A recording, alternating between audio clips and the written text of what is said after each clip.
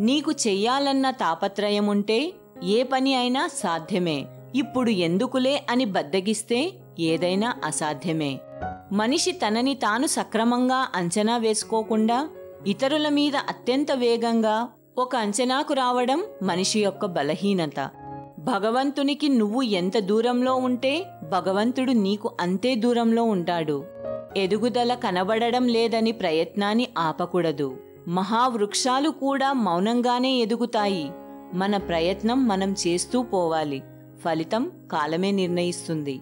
సమాజంలో మార్పు ఎందుకు రాదంటే పేదవారికి ధైర్యం లేక మధ్యతరగతి వారికి సమయం లేక ధనవంతులకి అవసరం లేక.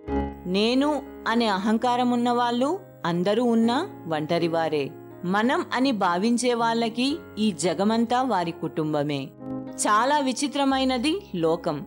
ఇక్కడ అబద్ధాలు చెప్తేనే బంధాలు నిలబడతాయి. నిజాలు చెప్తే బంధాలు తెగిపోతాయి. గొంతు పెంచడం కాదు నీ మాట విలువ పెంచుకో. వాన చినుకులకే తప్ప ఉరుములకు పంటలు పండవు.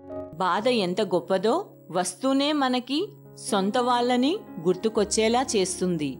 సంపద ఎంత చెడ్డదో వస్తూనే మనకి సొంత వాళ్ళని కూడా మర్చిపోయేలా చేస్తుంది.